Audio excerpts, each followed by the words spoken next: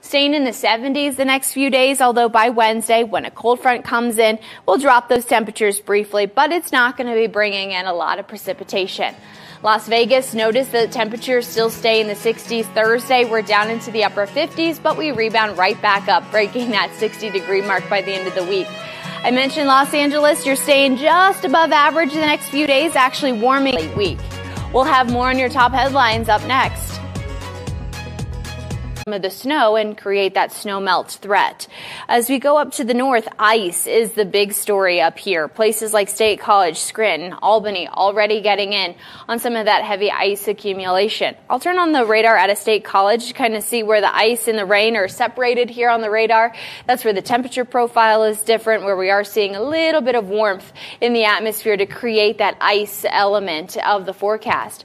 Over the last 24 hours, when it comes to that accumulation for ice, most of these areas have seen about a tenth of an inch. Some areas reporting up to a quarter of an inch already. I think some of that might have melted just a bit before it started coming through, but not just there. As you, we look at the Binghamton radar, same thing as we're kind of estimating some of the ice accumulations through this area. We're looking at again about a tenth of an inch to maybe a quarter of an inch. And that wouldn't be out of the question through the morning hours as we could have upwards of half an inch of ice by the time all is said and done.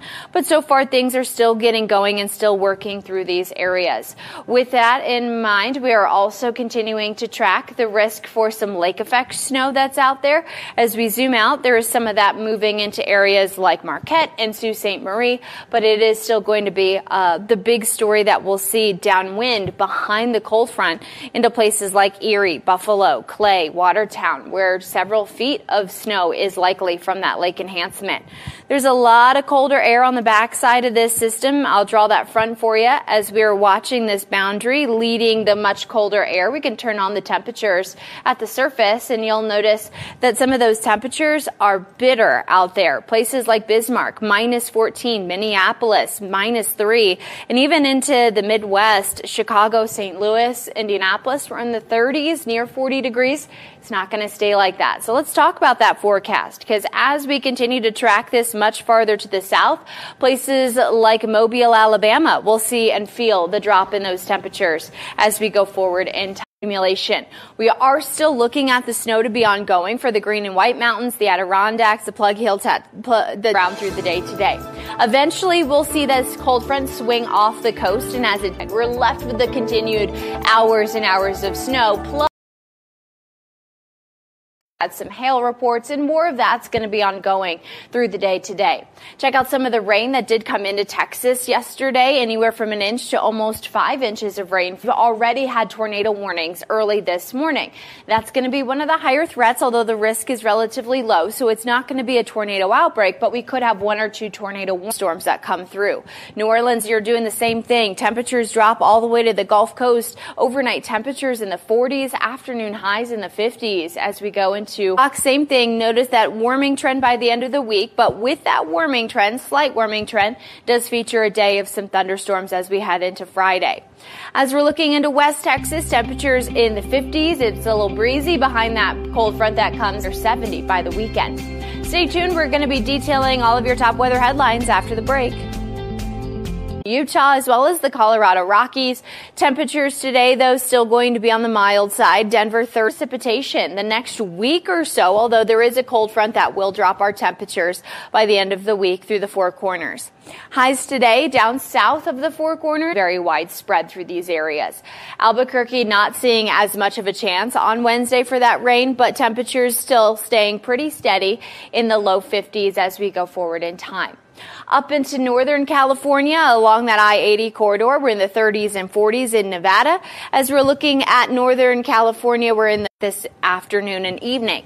Once that system passes, we get a change in on the way. Our models always underdo lake effect, and it's just because sometimes they have a hard time grasping that temperature contrast between the air and those sea surface temperatures, or in this case, the lake surface temperatures.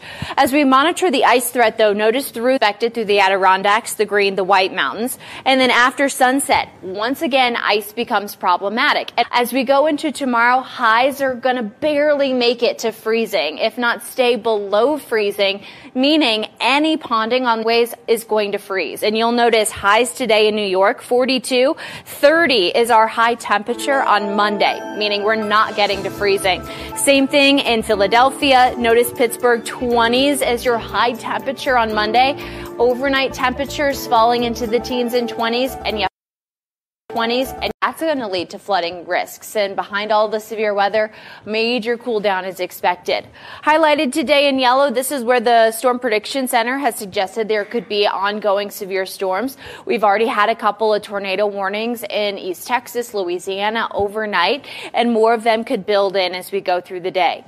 There's all the heavy rain into the mid south, leading to snowmelt, leading to elevated flooding concerns. And then that cold front swings through as we go through the day. So places like like Chattanooga, Birmingham, down towards Hattiesburg. We could be looking at afternoon thunderstorms with the possibility of rotation embedded within this line.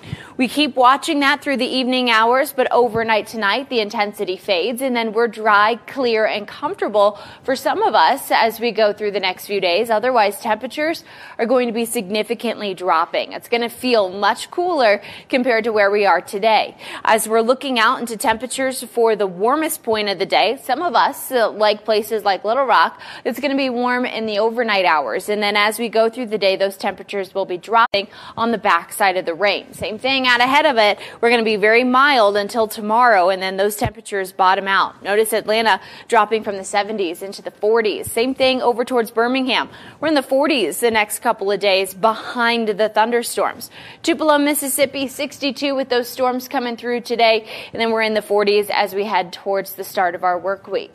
Looking at where that snow is on the ground, this is where we'll have to monitor for some of that melting to lead to flooding concerns. There's already been some flooding ongoing through these areas. So over the next day or so, as temperatures uh, are warmer than where they have been, that's going to allow for melting to occur. Now we will see a drop in those temperatures behind the rain that comes through as well, but still this morning and into this afternoon, places like Nashville are warmer and that snow will continue to melt.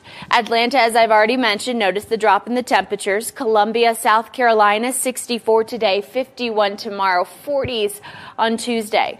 Another look at the storms as they come through. We're going to be watching them intensify as the day progresses, weakening after sunset, but still rain lingers along the coast for places like North Carolina, South Carolina, southern Georgia, and then high pressure builds in and things will clear out. Not only do we have the chance for some heavy thunderstorms to come through, some intense wind, but there's all that heavy rain. So two to four inches of rainfall is not out of the question. These areas are highlighted for excessive rain leading to localized flooding. So that's going to be ongoing.